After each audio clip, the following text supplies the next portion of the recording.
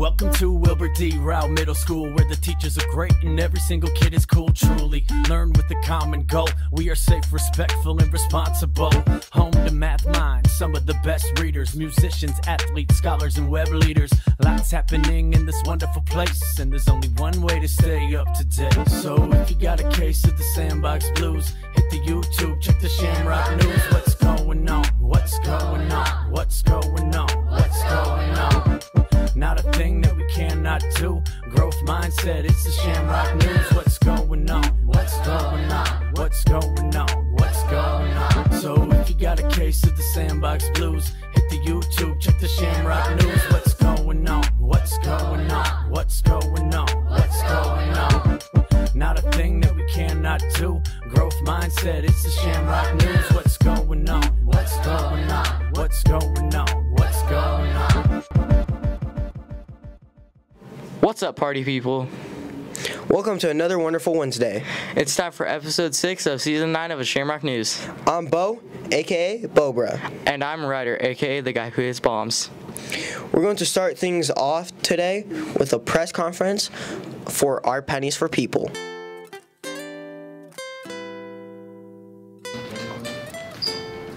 Hello everyone, Emma's going to be taking some questions today.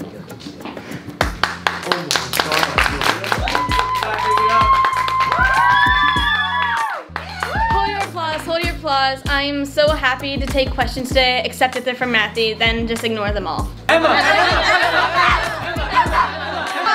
Elizabeth. We've heard that the Shamrock News and Rowe Middle School is holding a Shamrock service theme every month. Why have you decided to do that? Because we want to make sure that uh, that we continue to focus on helping those around us. We have a lot of people in our community and want to set an example. We should be lifting up our neighbors and friends, acquaintances, and even those who are strangers. We want Rowe to be a place where we can look out for each other. Emma. What is the theme for the month of October? Our theme for the month of October is pennies for people.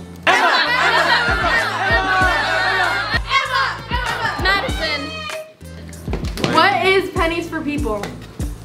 Pennies for People is a fundraising event where students and staff bring in their change to make a change. Alexis,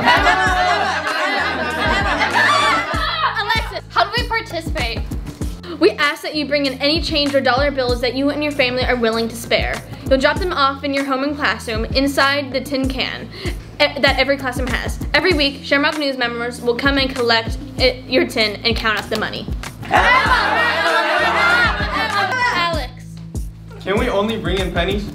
No! You can bring in dimes, nickels, quarters, half dollars, dollar bills, etc. Anything that is acceptable in, in the American currency is acceptable.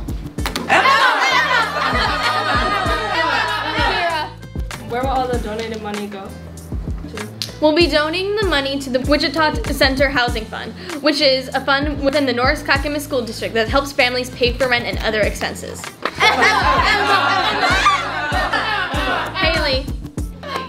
Do the classes who bring in the most money win anything? Yeah, the satisfaction of helping those around you, that knowing that when there are those in need, you will not ignore the beacons of Gondor and request aid and assistance. Also, the top two classes in the building will get a donut party at courtesy at the Shamrock News, aka us. Mr. Dix. Thank you. When will the Pennies for People drive end? The drive will go until Friday, November 4th, 2022. Matthew, I guess. Oh, I, I have a question. Um, actually, never mind. Let's just cut to the next segment. Like,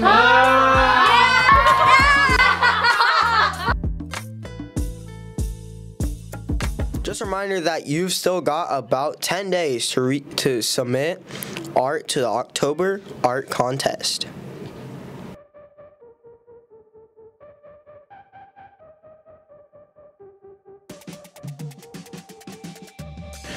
Welcome to this lovely Octarticon advertisement.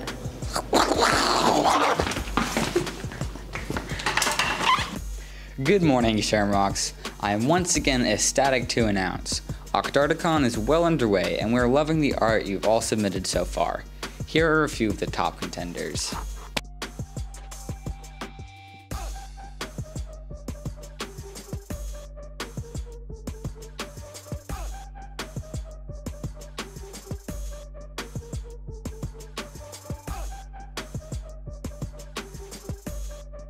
I'm here to recap a few things and better the understanding of the awards. Here are the updated award descriptions. First off, the main event, the Spooky Award. Something creepy and creatively disturbing is encouraged. However, submissions with gore or too much body horror will be ignored. We'd love to see some monsters and skeletons, but anything fall related would also be accepted. We'd also like to emphasize that the spooky element of the contest is only optional. We'd also like to state that spooky doesn't necessarily mean Halloween. The spookiness is only an optional side part of the October contest. Next, we have beautiful hues. Keep the colors varied and unique. Sunsets, galaxies, and pieces with nice contrast and creative but pleasing color palette. Smoothly rolling in, we have the simple aesthetic. For this one, we want you to think simple, but also clean and well designed. We want it to have a simple yet satisfying vibe. Now my personal favorite, the Unique Award. For this award, we want incredibly original art that stood out from everything else, meaning the winner could be anything from a beautiful mushroom to a squid flying through space. Last but not least, the Shamrock favorite. This one's relatively straightforward. All you little Shamrocks will vote. We'll let you look through all the artwork submitted and the top voted piece will win. Keep in mind, so far, you can only submit one entry. However, we may bump it up to two per person near the end. Please submit your piece by the 25th. Keep in mind you could win an award, but it might not be the one you were aiming for. For example, if your pumpkin patch had nice contrast, it might win the beautiful hues rather than the spooky award. This way, more submissions can get an award. Another thing to keep in mind, if your piece is truly spectacular, it might win multiple. We can't wait to see everyone's Octarticon submissions.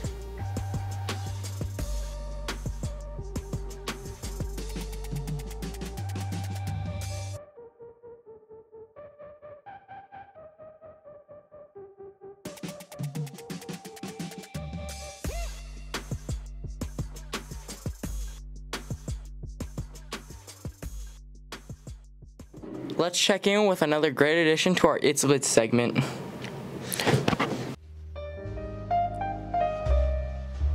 Anywhere you go, anywhere you look, nose in a book, nose in a book, nose in a book, nose in a book.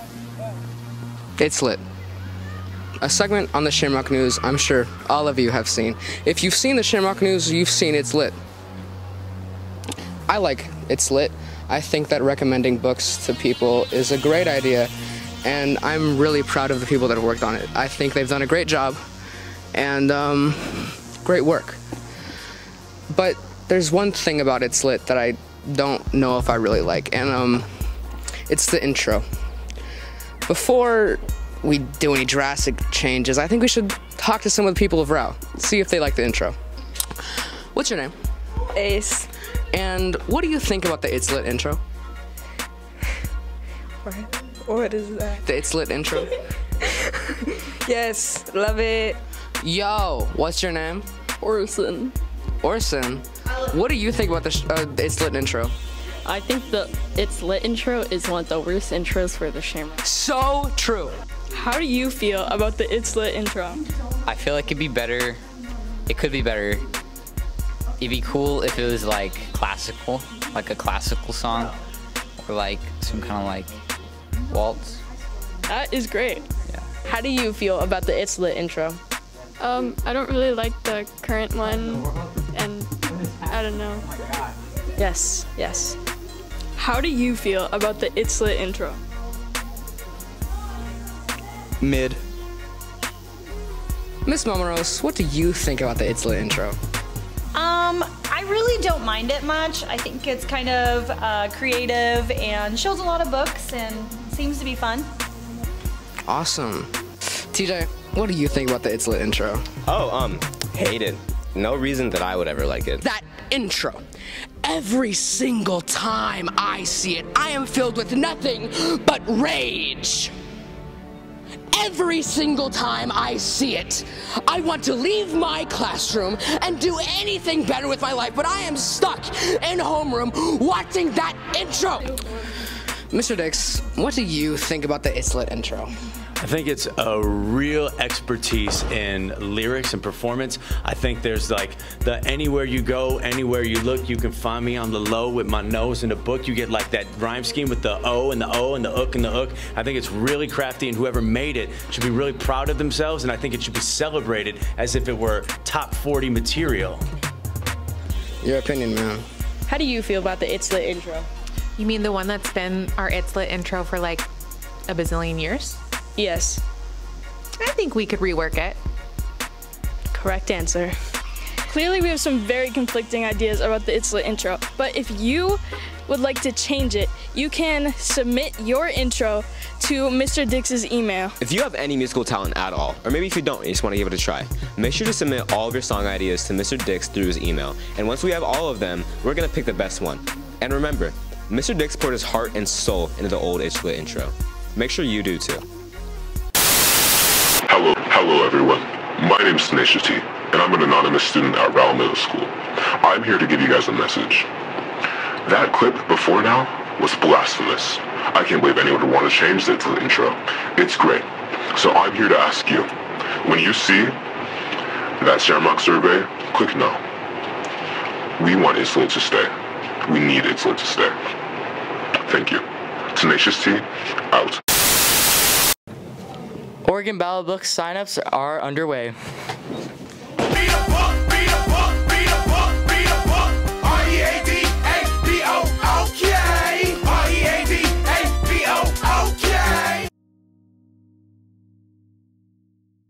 Oh, what, what was the last book you read? Um, the last book I read was about to die in the end. I mean, it kind of gives a spoiler, but I mean, it's still good. What about you, Matthew? Uh, I read uh, The Son of Neptune. It was pretty alright. Nice. What about you, Elizabeth? Well, I've read too many books, I can't keep track. But if we all like reading so much, shouldn't we sign up for OBOB? What's OBOB? Oregon Battle of the Books. It's the most awesome competition in Oregon and around middle school, guys. Come on. I think this was common knowledge. Sounds fun. Tell me more.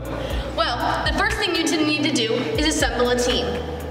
You may have up anywhere up to five members on a team. You need to sign up with either paper copy in the library or digital copy in the Rowe Hub.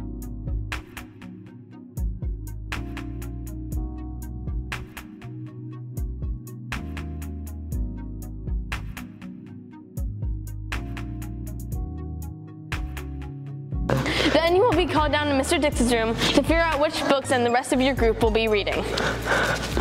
There are 16 books, so um, which means everyone needs to read at least four books. You'll then get the next four months to read these books. On February 25th, 2023, we'll host a battle around Middle School. Each team will come to the library for the second half of the day. You'll answer questions about the books you read. The winner of this tournament will then go and battle other schools at the regional competition. So if you're interested, grab a form from the library and submit it to Mr. Dix. Or just sign up at the Rowe Hub. If you're looking for the books, they can be found in the library or at the Boys and Girls Club. The Boys and Girls Club is also running an after-school book club on Fridays for people who want to run practice questions and memorize titles and author names. Oh my god. We can't forward to battling this year, Rowe Readers. Why are we wearing different clothes? Are we? Mr. Newman and the Shamrock News are collaborating to start a new segment called Rowe Reminders. Woo!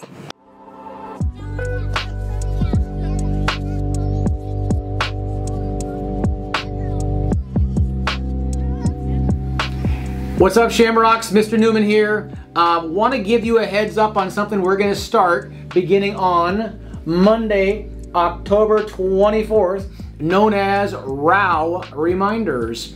Uh, during this time, the opportunity for me to check in with you, Miss Doyle to check in with you, uh, and some other caring adults in the building around things we need to make sure we're all doing together to make sure we have a safe, respectful, productive, and fun environment here at Rowe Middle School. So we're always supporting everyone and every member of our school community. So during this time, it'll be just a little segment on some of the things I want you to think about today and some of the things I want you to uh, work on over the course of the week.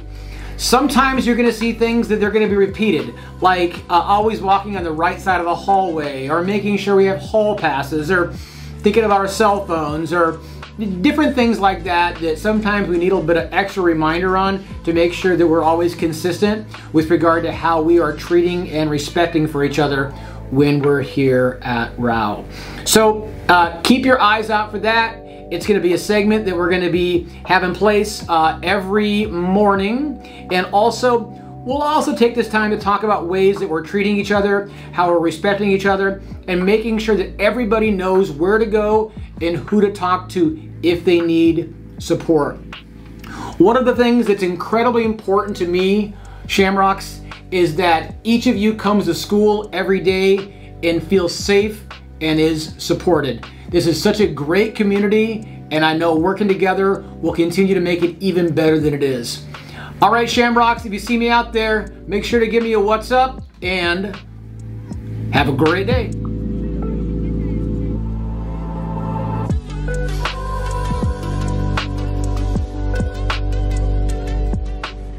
Our Shamrock survey results are in, and we've discovered, according to you, which water fountain is the best.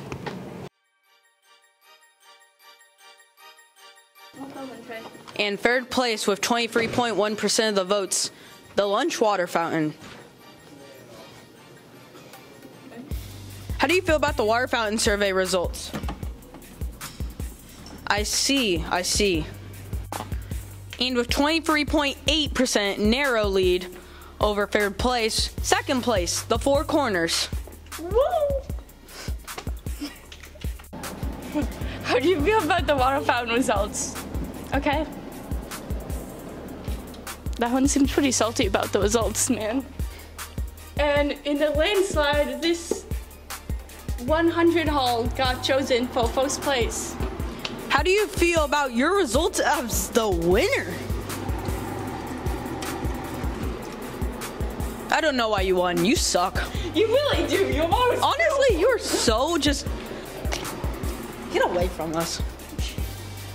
You're bad, fountain. Now, to see my winner, Upper Gym. This one should have been the winner. It's pretty obvious. I mean, look at it in all of its glory. With all the gum chewed up gun in it. Gum. It's the best. Yeah. How do you feel about your devoted followers who voted for you? Ah. Okay.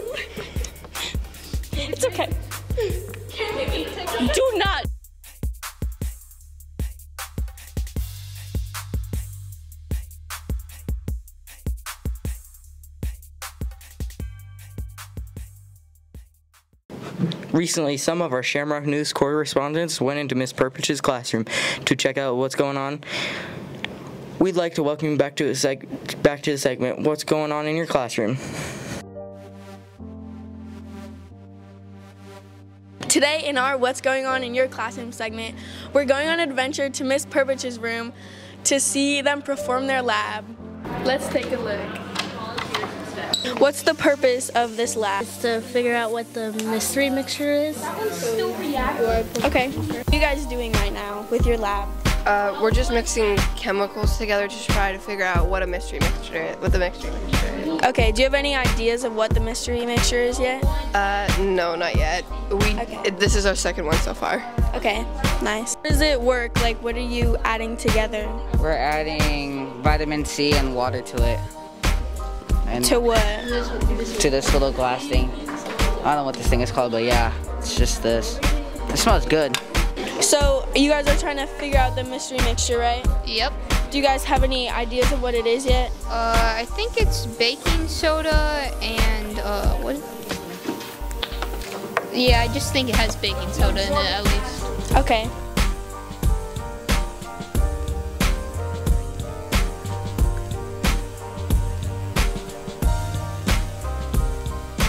Thanks for watching What's Going On in Your Classroom.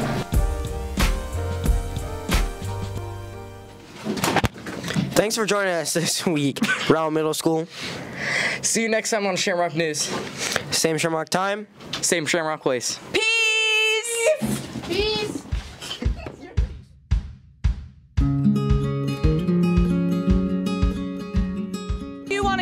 Shamrock shout out to? I'd like to give a Shamrock shout out to all my teachers and all my friends. Who do you want to give a Shamrock shout out to? I'd like to give a Shamrock shout out to all of the Shamrock people there. Go! Woohoo! That's a bad. Okay, Do you want to give a Shamrock shout out? Yes. Okay, who? Miss Kavanaugh. Wait, no, Mr. Kavanaugh. Who would you like to give a Shamrock shout out to? I would like to give a Shamrock shout out to my friends Ethan, Leon, Dylan, Cameron. Yeah. Those are good names. Who would you like to give a Shamrock shout out to? I'd like to give a Shamrock shout out to my friends Jacob and Sam and uh, all my teachers. That's a good one. Who would you like to give a Shamrock shout out to? All my friends and Fernando especially. Who would you like to give a Shamrock shout out to? Uh, Lucas, Jensen, and Henry and Jonah.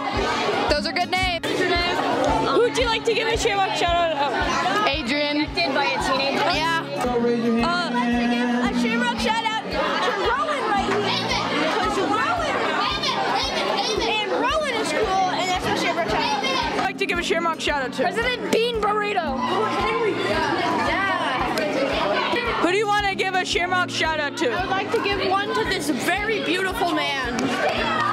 What are you doing? Who do you like to give a Shamrock shout out to? My friend Madison and my cousin James Dean. Oh wait, who would you like to give a Shamrock shout out? Uh, I'd like to give a Shamrock shout out to uh, Charlie and him. He knows who he is. Okay. Who do you want to give a Shamrock shout out to? Uh, my friends William Nicholas and um, Lucas and Jensen and my mom and dad. Give a Shamrock shout out to? Uh, to Connor and Hunter and also Joe Biden. Because he's really cool. Joe Biden. Who would you like to give a Shamrock shout out to? I would like to give a shamrock shout out to all my friends and to my family who have been incredibly amazing for this past week.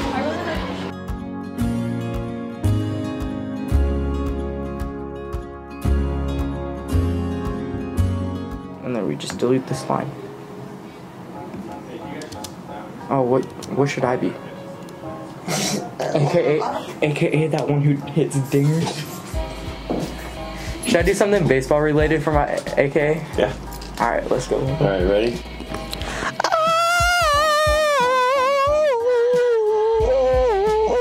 Bye, Enzo. Let's zoom in on Matthew's face really quickly.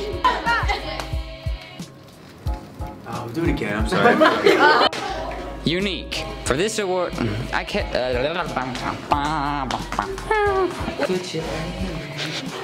Whoa.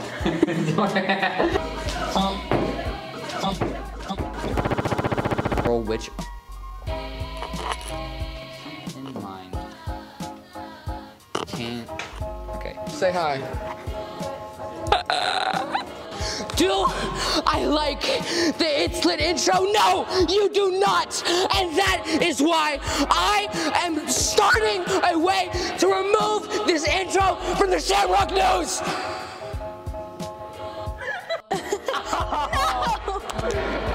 Do the Heimlich maneuver.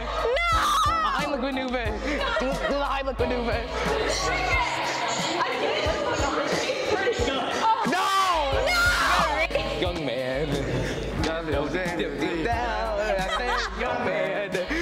Yourself up the ground. I said, young man. Like, stop. What's up, Shamrocks? Mr. Newman here. Um, recording now.